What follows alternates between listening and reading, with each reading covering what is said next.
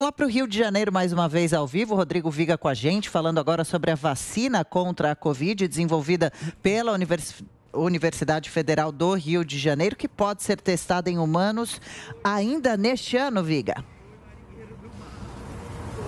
Essa é a expectativa, a gente fica sempre torcendo, fazendo figa para que dê tudo certo, né? Os testes da UFRJ-VAC, como está sendo batizado, essa vacina desenvolvida pela Universidade Federal do Rio de Janeiro, os testes já começaram a ser feitos com animais e até o final do ano a UFRJ pretende solicitar, demandar à Anvisa, Agência Nacional de Vigilância Sanitária, autorização para testes em humanos. Em tudo dando certo, viu, Adriana?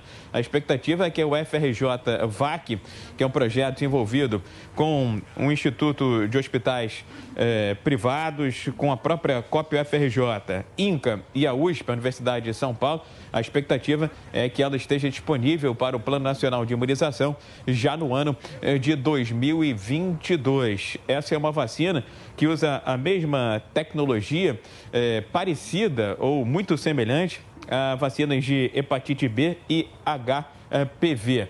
Ficamos na figa fazendo torcida para que seja mais uma vacina que venha a ser disponibilizada é, para o enfrentamento à pandemia de Covid-19 no ano de 2022. Lembrando que a própria Fundação Oswaldo Cruz pretende, no ano que vem, disponibilizar ao PNI 180 milhões de doses da vacina Oxford AstraZeneca contra a Covid, viu, Adriano? Com certeza, toda a nossa torcida pela vacina, pelo sucesso dos testes. Mudando de assunto, Viga, um outro assunto, mais uma médica falsa presa aí no Rio de Janeiro. Tipo de crime bem grave, hein?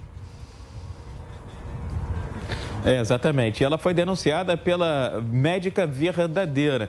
Essa falsa médica estava é, cumprindo o plantão, atuava numa unidade em Nova Iguaçu, na Baixada Fluminense, que também é voltada para tratamento infantil, para tratamento de crianças. A médica lesada disse que o CRM dela estava sendo utilizada por essa é, falsa médica que foi presa em flagrante no momento é, do plantão que dava nessa unidade privada em Nova Iguaçu, na Baixada é, Fluminense.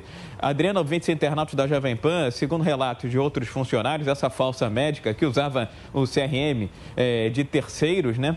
Ela era responsável por pelo menos duas unidades, né? Dois leitos de UTI desse hospital privado desse hospital particular tem sido frequente aqui no Rio de Janeiro. Já é o terceiro ou quarto caso eh, de falso médico atuando na rede de saúde pública ou privada do Rio de Janeiro. Para fechar, minha cara Adriana, eu conversei nas últimas horas com o governador de Minas Gerais, eh, Romeu Zema. A gente vai trazer essa informação ao longo da nossa programação. Foram vários temas, vários assuntos, mas você lembra com certeza daquela tragédia provocada por um rompimento de barragem em Mariana, em claro. Minas Gerais, né, Adriana? Então, é, nos próximos meses, segundo o Romeu Zema, deve ser selado, deve ser firmado um acordo de reparo às vítimas e também de reparo ambiental bilionário de 100 bilhões com B de bola de reais para serem pagos ao longo de cinco anos. Isso vai ser destinado parte para a União, até 20 bilhões, parte para o Espírito Santo, que também foi atingido 20 bilhões, e Minas Gerais ficaria com 60 bilhões de reais. Uma notícia que a gente vai destrinchar